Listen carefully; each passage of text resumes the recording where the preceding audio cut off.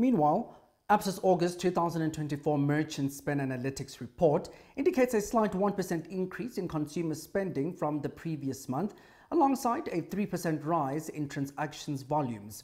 However, this marks a slowdown compared to July's stronger growth.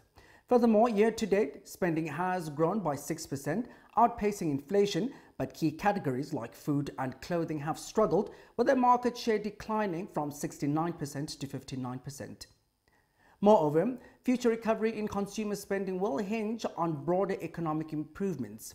Head of Consumer Goods and Service Sector Coverage at Absa CIB, Isana Cordia, provides further insights.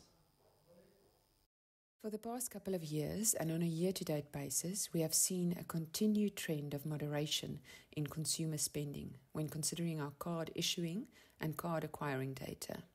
This is likely influenced by economic factors weighing on the consumer, such as the higher cost of living, high interest rate environment, and wage growth that has not kept pace with inflation.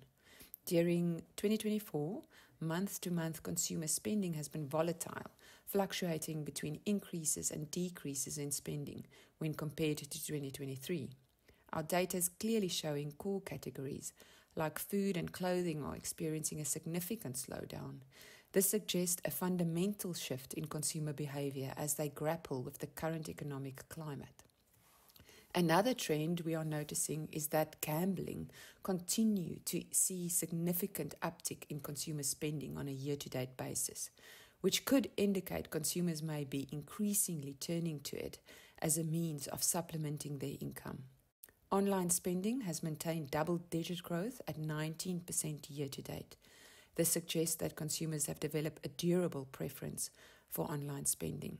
This growth is primarily driven by growth in categories such as home and garden, business and professional services, food and clothing categories, which collectively constitute 81% of online transactions.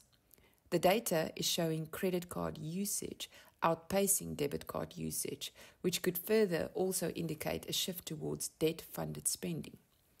It is noticeable in the data that there is an increased adoption of merchant machines by small businesses facilitated by fintech solutions.